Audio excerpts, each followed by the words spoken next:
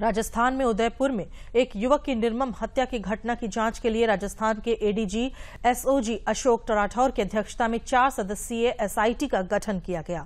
इस विशेष जाँच दल में ADG SOG Ashok Rathore ATS IG Prafull Kumar, एक एसपी और एक एडिशनल एसपी होंगे। इसमें पहले, उदयपुर के धानमंडी थाना क्षेत्र में सोमवार को दो व्यक्तियों ने टेलर की दुकान में घुसकर एक व्यक्ति की निर्मम हत्या कर दी थी।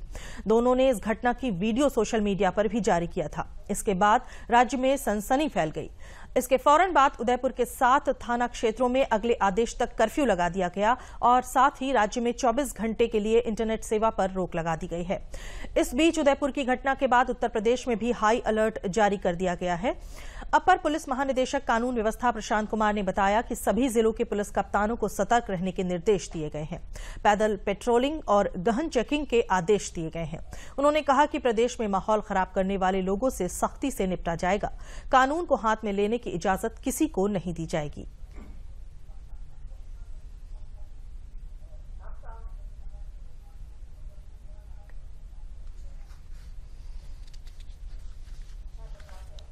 उदयपुर राजस्थान की घटना के उपरांत पूरे प्रदेश में आवश्यक सुरक्षा व्यवस्था के प्रबंध किए जा रहे हैं। सोशल मीडिया की भी मॉनिटरिंग लगातार की जा रही है।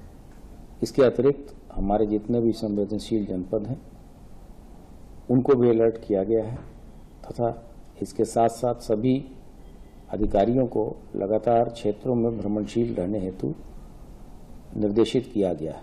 इसके अतिरिक्त सभी धर्मगुरुओं से ये अपेक्षा की गई है या उनसे अनुरोध किया जा रहा है कि शांति व्यवस्था बनाए रखने के संबंध में अपने तरफ़ से भी पब्लिक को अपना अपनी तरफ़ से भी ये वक्तव्य जारी करें तथा पुलिस सभी ऐसे असामाजिक तत्वों पे नज़र रख रही है जिससे शांति व्यवस्था भंग होने की संभावना है।